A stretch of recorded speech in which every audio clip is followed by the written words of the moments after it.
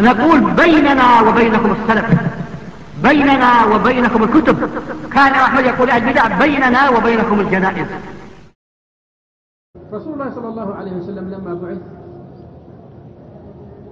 مكث في مكة كما نعرف جميعا ثلاثة عشر عاما يدعو الناس إلى توحيد الله. ليس بيده سلطة ولا عنده قوة حتى يجاهد. لما ذهب إلى الطائف يستعين بأهلها أن يساعدوه على الدعوة حينما توفي عمه أبو طالب الذي مات على الكفر ولكنه كان يساعده. ولم يستطع أحد من قريش أن ينال من رسول الله صلى الله عليه وسلم في حال حياته. فلما توفي وكذلك خديجة أم المؤمنين توفيت رضي الله عنها ذهب إلى الطائف يستعين بهم بني عبد يالين يريد منهم أن يعينوه على الجهاد وعلى الدعوة إلى الله عز وجل. فردوا عليه ردا سيئا. استهزأوا به وسخروا منه. ولم يتركوه هكذا أيضا بل أغروا سفهاءهم بأن يرموه بالحجارة حتى أدنوا عقبه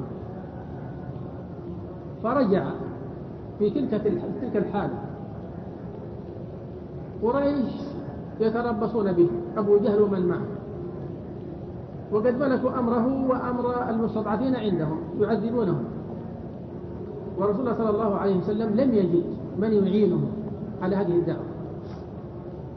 فكان في طريقه راجع وكان في قبل المنازل الجبال في الطائف فأظلته سحابة فالتفت في إذا فيها جبريل فسلم عليه. وقال يا محمد إن الله قد سمع قول قومك وما رد به عليك. الحديث هذا في صحيح البخاري في كتاب التوحيد.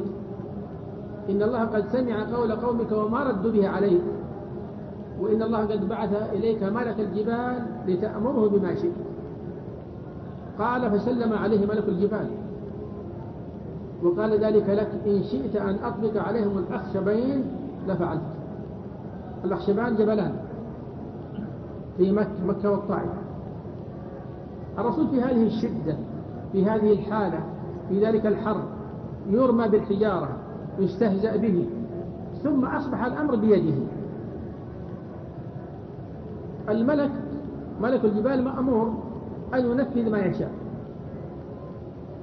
وطلب منه أن يطبق عليهم الأخشبين. ماذا قال الرسول عليه الصلاة والسلام؟